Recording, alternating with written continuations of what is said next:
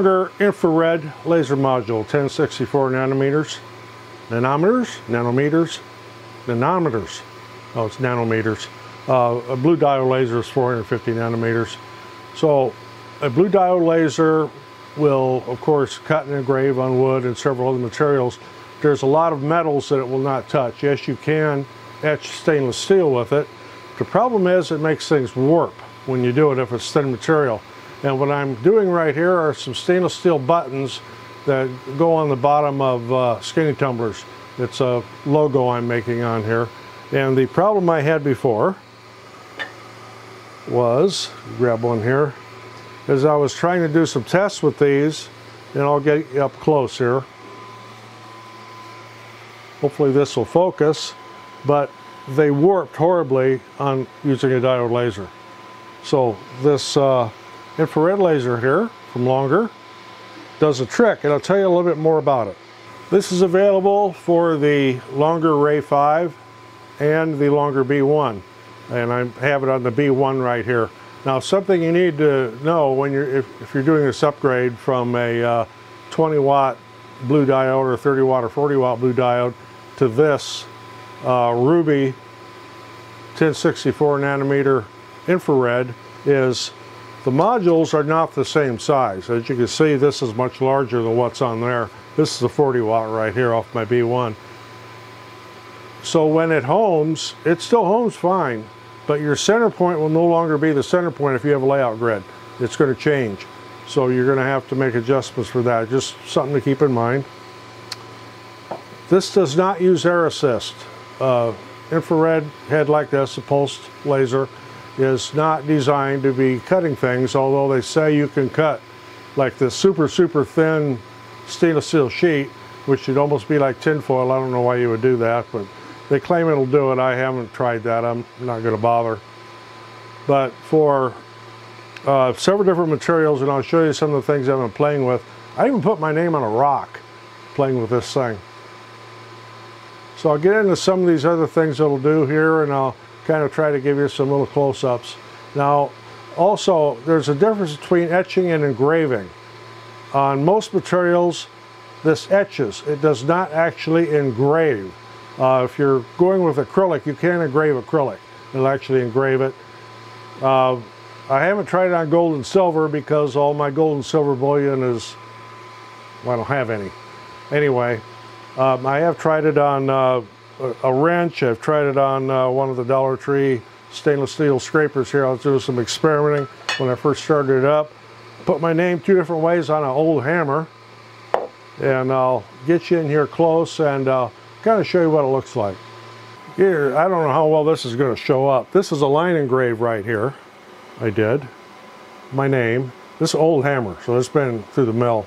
And this is done, uh, I should say etch, not engrave. This is uh, with a fill. And it does do bare aluminum. Piece of aluminum angle here. This etch right here, boy, I hope you can see this. This is kind of tough to show. Should have made something bigger. This is a line etch here. And if you run your finger across it, it's somewhat rough. It almost isn't engraved. This over here is uh, done with fill.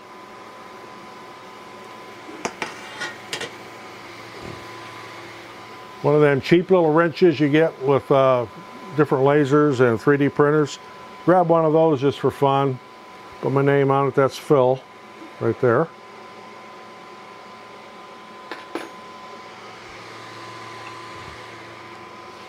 Here's another one of them little wrenches you get with a 3D printer or a laser or whatever. Uh, it has a chrome finish on it. I didn't want to use one of my good Snap-ons or Matcos, so grab this. It uh, etches, etched my name in it just fine. Comes out very, very sharp. And yes, I put my name on a rock. I went out in the yard and found a rock that was somewhat flat. Uh, this is not perfectly flat, so as uh, you get to the other end of my name here, the last R, it started to fall off on the curve. Focus is extremely important with a uh, infrared laser. With a blue diode laser, you have a few millimeters you can play with up and down, probably three or four millimeter focus offset, I guess you could say, and you would still get away with getting a good uh, engrave. with the uh, infrared, you have one millimeter tolerance. So this fell off more than one millimeter, so it didn't quite make it. And I don't know, this is a piece of red granite, and it, say it did etch my name in it just fine. Of course, a you know an infrared laser, uh, infrared you can't actually see the infrared beam.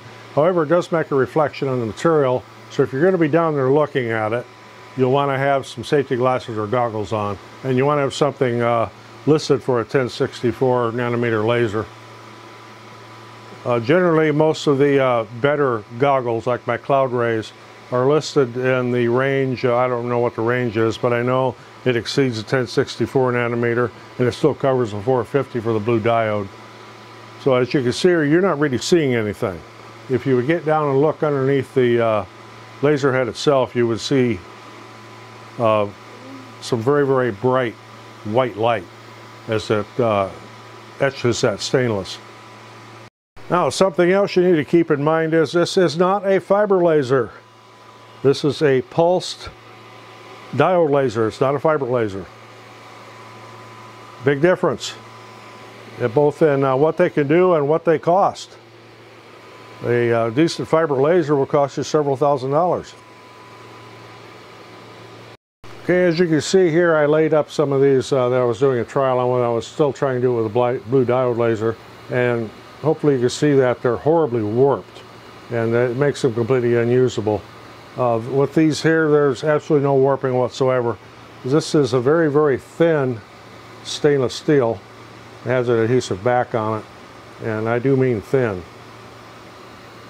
Look at what I'm uh, working with here. Um,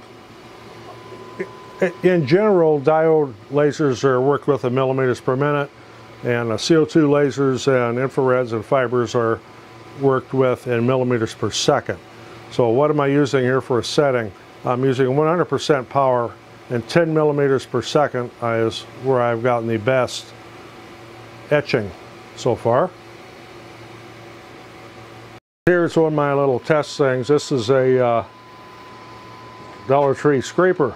And of course this over here was done with blue diode laser back when I was experimenting with some things. But this is where I was experimenting with different settings on the uh, infrared laser right here. And with all three of these settings, they pretty much all look the same. So what I'm working with here is what I settled on. Because this changed the uh, position of where my center point actually is, I had to kind of set this up to work from current position until I get a, uh, a, a template set up to do these. I'm actually doing these one at a time right now, so I haven't created a template.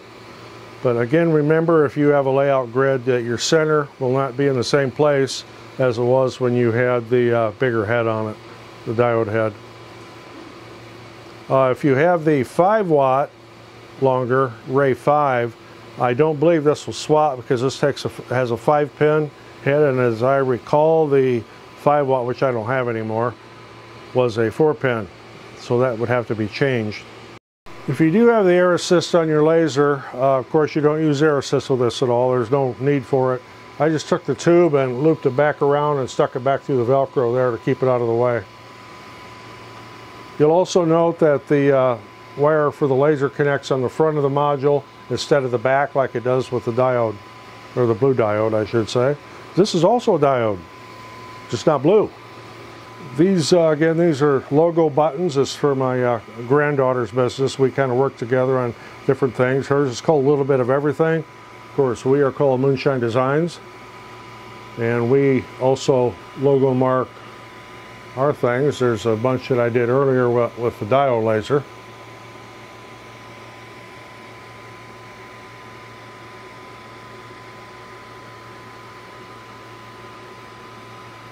And I will be making a template for uh, making these in bulk without having to uh, set up on each one. This is uh, kind of the first time here with these. You may be able to see here that that has a little bit of a uh, brownish gold cast to it as it's been engraved. It will, you rub your finger over that and it, that uh, brownish gold cast goes away and you just have a perfect engrave. So how does this focus? or I should say, well, yeah, how does it focus? I'll show you that here in a minute. It has a little kickstand that you drop down. A uh, little bit different than the uh, heads on the B1 here, but it's a little bit longer kickstand and you look like you're farther away. As far as getting positioned on your work, there's a red laser beam that also coincides with where your laser is actually going to fire. And that is where you center it on your work or start in the left corner wherever you're starting from. I'm uh, working from center on these. So what I'll do is now is just move this over. Like I said, I don't have a uh, template set up yet. And I can look at that red laser beam and see when it's in the middle. And then I can hit frame and that red laser will frame around my work. I need to go just a hair more to the right.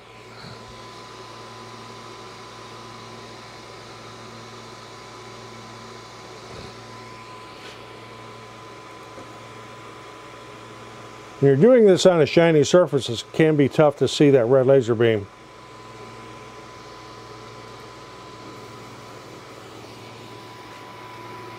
I'll get in the LightBurn later and I'll make an actual template for this because uh, we got a lot of these to do. There you can see what the uh, beam kind of looks like. I'm looking at this from the back. When you're standing in front of this, you don't see it at all. But again, uh, wear safety glasses or I should say laser goggles or laser glasses when you're going to be looking at that beam at all. So who is this for? This is for those who, uh, if you're into jewelry and making custom jewelry, this would be ideal. We don't do that here at all, but that would be a very, very good application for it. Uh, my primary application is going to be for uh, trademarking and marking on some other metals. And this will also, this will do gold, silver, copper, uh, brass, steel, aluminum. Uh, I suppose it would do zinc. I haven't tried on. A, I don't have any zinc. Try it on. Uh, I would imagine it would uh, etch galvanized metal, but I kind of advise against that unless you're in a really, really well ventilated area because it could vaporize that zinc and put that into the air and that's not a good thing to breathe at all. So you, you want to have a fan blowing behind you, you want a fume extraction, have this in enclosure if you're going to be doing something with galvanized. Uh, it also uh, will do acrylic. I wouldn't be trying to use this to cut anything. It's strictly for engraving and etching. So I've had people ask in the past with different lasers, you know, what can I cut steel with it? I got, you know, I want to cut some parts to make some custom parts for my car or whatever. You're fabricating something. Uh, this does not cut steel. And neither does a blue diode laser. They just don't do it. And you're not going to get a uh, laser like that that can cut plate steel for a thousand dollars or whatever. You're going to be paying several thousand dollars for it, and or get a plasma cutter, one of the two. Uh, no, this doesn't cut steel. It doesn't cut aluminum. Like as, as I mentioned, it does. They claim it can cut a very very thin stainless steel sheet, but that would be almost like aluminum foil type of, like I say, stick to just doing uh, engraving and etching with it. So where can you get one of these? Well, you can get it from Longer's website, and I'll put a link in the description for it. Um, it's, if like say, if you're if you need to etch metal or engrave, interchangeable there depending on what you're exactly doing. Uh, especially with jewelry, as I mentioned, this this would be ideal. Okay, so another question I'm going to get, well, I've got maybe a uh, Sculpfun laser, I've got, uh, you know, a Portrue laser, I've got Xtool D1, or, yeah, I've got a lot of those different lasers here. Will this fit on it? Probably not. This is made for uh, the longer B1 and the longer Ray 5.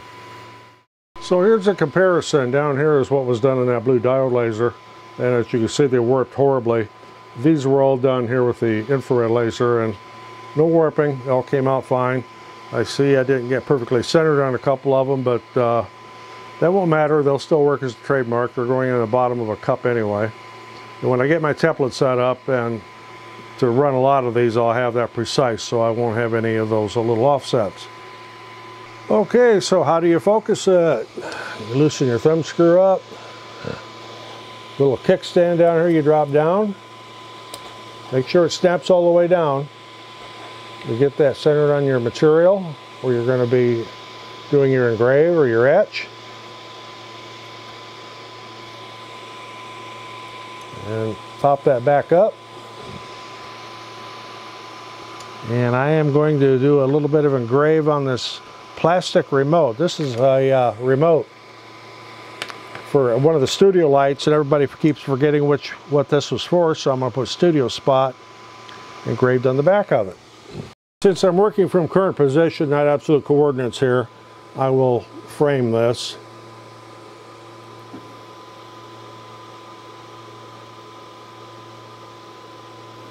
And that'll work out fine. And I am going to run at uh, this being plastic? We'll try this at uh, 50 millimeters per second and 80% power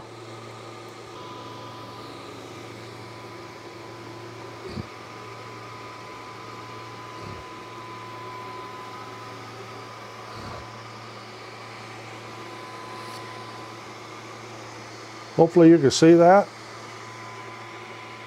Studio spot. So now when somebody picks up this little remote, what's this for? Look at the back, studio spot. Yeah, that red dot you see right there is what you uh, position your laser on. So there's a demonstration of the uh, longer 1064 Ruby infrared laser. It's 2 watt output. Uh, again, it's not for cutting. It's for engraving on metals and engraving or etching on metals. Does it work on wood? Not very well. If you're when you're going to do wood, you put the diode head back on there and, and run with that. It's two watt output. It, it, it does make a mark on wood, but it, it takes way too long. So everything has its purpose. For example, you don't make uh, soup in a colander, you know, that kind of thing. Everything has its purpose. Uh, this is absolutely fantastic for doing metals and I'm very very pleased the way these uh, stainless steel logos worked out. So now I just need to get my template made because I've got a whole bunch of these to run. So if you got anything out of this appreciate getting a thumbs up always helps the channel. I'm Roger in the shop. See you in the next one